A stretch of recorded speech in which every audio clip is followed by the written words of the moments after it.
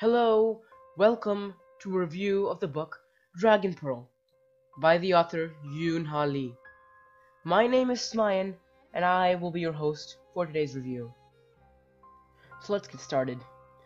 Firstly, I'd like to mention that this book is a mixture of science fiction and mythology, with a little bit of adventure thrown into the mix. So for all of you sci-fi fans out there, I definitely do recommend this book. It is a great read to complete over a long, nice summer or winter break. Now this story is about a young character who had always dreamt of exploring the Thousand Worlds. The Thousand Worlds is a fictional part of the universe that is supposed to contain at least a thousand different civilizations and a thousand different societies with tons of diversity in terms of species and culture.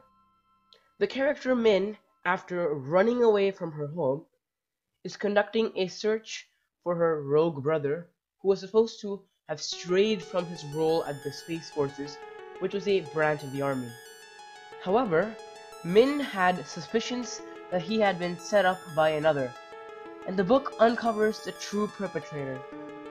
I won't be telling you any more, for that might be too revealing, and I would like to keep the amount of spoilers to a bare minimum. I personally thoroughly enjoyed this book. It was a perfect mixture of action, drama, and character building. I felt that this was especially unique due to the fact that it is a mixture of Korean mythology and futuristic fiction. I actually interpreted a hidden meaning from the author's pick of the genre. This is the meaning I picked.